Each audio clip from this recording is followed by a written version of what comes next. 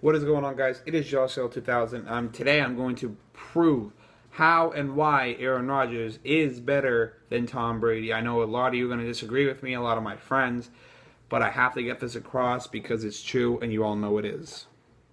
Now, to start it off, Rodgers is the NFL all-time leader for pass rating at 104.1.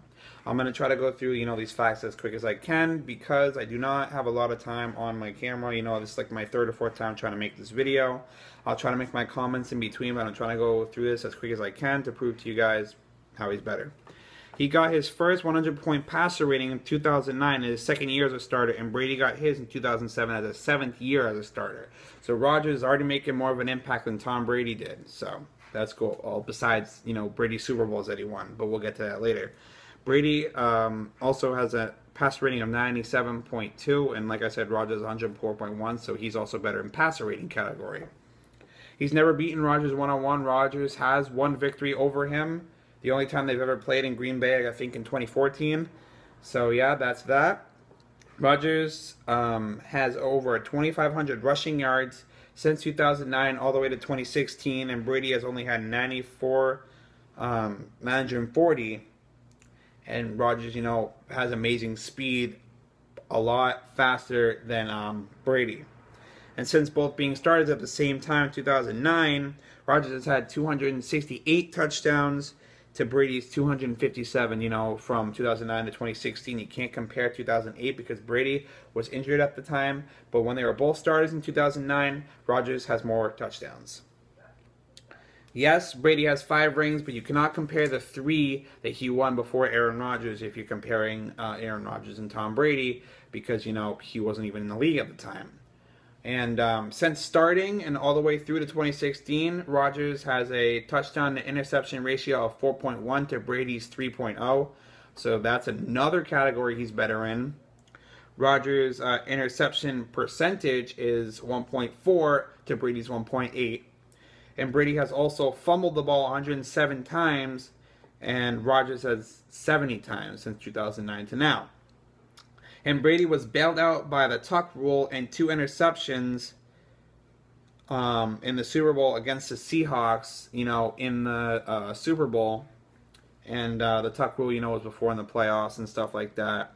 But he was bailed out those times for um, Super Bowls and then the playoff win and um, Rodgers is more, you know, turnover free in the playoffs. He doesn't throw a crap load of interceptions. But um, Brady has also, you know, thrown an interception in the Super Bowl against the Falcons for a pick six. You know, he, I guess, likes to throw interceptions in the playoffs, you know, when it comes to game time. Rodgers knows how to control the ball 10 times more than Brady does. You know, he falls under pressure easily, and he throws interceptions in the playoffs. And uh, like I said, he got bailed out before by those two things. He also got bailed out by Malcolm Butler. You know, like I said, he got bailed out in the Seahawks Super Bowl. And uh, Vinatieri also bailed him out of a couple Super Bowls, so that's another thing. And you can't say Rodgers is bad and never makes it to the Super Bowl if the defense is at fault. Rodgers has had a mediocre defense, you know, for the longest time. After a Super Bowl run, he has had mediocre defenses every single year, and Brady has had all star defenses, all star offenses. So, and Aaron Rodgers has still performed amazingly. He's carried these teams to the playoffs, which I just think, you know, is amazing. Um, in 2009, Rodgers lost to the Cardinals by putting up 45 points and his defense allowing 51. 51 that's insane. And Rodgers still up put up 45 points. You know, he was fighting and fighting, but his defense let him down. And, you know, he lost 51 to 45. He also put up 31 against the San Francisco 49ers. Um, the lead defense in the playoffs in 2012, keep in mind, but his defense allowed 45. You can score 31 against, against the best defense in the league. I think you're pretty amazing. You know, that's that's awesome. Um, he also a defense also costed him, and especially costed him the NFC Championship game back in 2014. So that's also another costly thing the defense has done. You cannot blame Aaron Rodgers for not making it to the Super Bowl, for not making it to the Super Bowl and playoffs as much as Brady has and how much success Brady's had. Brady has had all this support behind him, where Rodgers has had mediocre defenses for the longest time. So you cannot compare that. That's just insane. Um, And when Brady had people like Edelman and Gronkowski in 2014, Jordy Nelson tore his ACL that same year and missed all of the 2015 season, and Rodgers still nearly brought them to the NFC Championship game. Keep in mind, he was playing with third stringers because a lot of his team was injured. He was playing with third stringers like um, Jeff Janis, Trevor Davis, and Jared Abbrederis. None of you guys know who they are because you're not Green Bay fans, obviously. But he was playing those with those third stringers, and he still made it to the NFC or almost made it to the NFC Championship game. That's impressive, you know. Um, Brady has had all those people that year, and um, it's just amazing. And I don't even think Brady made it to the Super Bowl back in 2014. And Rodgers almost got to the NFC Championship without any of his starters or any of his starter wide receivers. That's pretty impressive. And um, Brady came into the league with a great defense and great talent when Rodgers came into the league, and he had to replace the almighty Brett Favre and didn't have any talent around him. Not much talent. Um, you know, Donald Driver and Greg Jennings, you know, they're aging. They were getting older. So he didn't have much talent around him. And he still made it to the Super Bowl with some of those guys and Jordy Nelson. So that's also pretty impressive. And Rodgers in his rookie season had over 4,000 passing yards and 28 touchdowns, which is, you know, a lot better than some of the rookies that I've seen.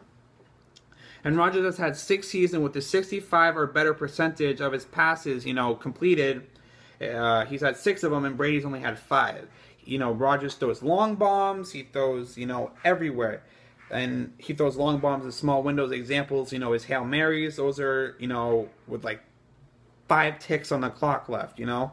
And most of Brady's passes are short and over the middle. Rodgers, like I said, throws everywhere. Brady can't really throw that far. It looks like he just passes like over the middle and stuff like that. And um, I don't know if I said this before, but Rodgers, like I said, has had uh, from 2009 2016 268 touchdowns to Brady's 257. And since 2009, he's had 58 interce- uh, interceptions, and Brady has had 66. And Rodgers has also had two MVPs to Brady's one. So he has more MVPs, which is also supporting why he's better. Brady was uh, surrounded by so much success, success when Rodgers had to earn his success. You know, like I said, the mediocre defense, he carried them through. Brady didn't have to carry his team through. He's had good teams, you know, all these years, and Rodgers had to carry his defense, you know, for so long for putting up so many points over the years. So, um, yeah, that's that, guys. I, I had four pages right here. That's why I kept looking down. If you still don't believe me on how Aaron Rodgers, you know, is better than Tom Brady, I don't know what to say to you. I just proved to you Aaron Rodgers is 10 times better than Tom Brady. I don't think I mentioned, or I might have, but, you know, like I said, Aaron Rodgers made it to the Super Bowl and he's made it to several NFC championship games, but he lost them due to his defenses. So, um, like I said, if you guys still don't understand how Rodgers is better than Brady, then I don't know what to say to you. Like I said, I proved to you guys right here on how he's better, but you know, don't believe me. Um, but yeah, I want to thank you guys for watching this video, and um, I'm going to be here with raw reactions tomorrow. Thank you guys for watching, subscribe, all that stuff, and I'm sure going to be getting a lot of hate for this video. Oh wow. I just wanted to voice my opinion and tell you guys the truth. Alright, it's been Josh L2000, and I'll see you guys next time. Peace out, phase up, later. Hey guys, I didn't mention this in the video, but if you do want to check out where I got all this information, it's going to be in the description. Um, after I upload a video, I'm to have to edit it, and then I'll put all the links in the description. If you still don't believe me, I'm telling you all the stuff I said was true. I will leave everything in the description, so please go check that out if you don't believe me in the